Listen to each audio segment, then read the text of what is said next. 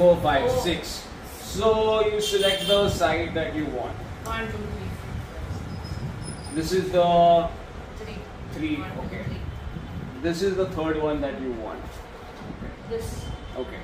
So this is the third one. So you selected basically three. Hmm. Okay, which equals to this symbol. Right? This one.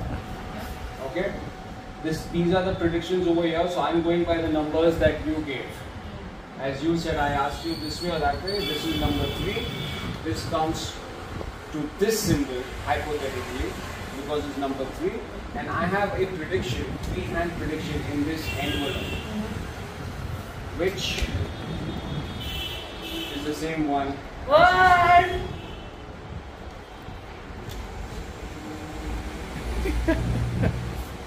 It could have been any others, but it came only to this. What? I have nothing else in the envelope except for this. That's what it is. So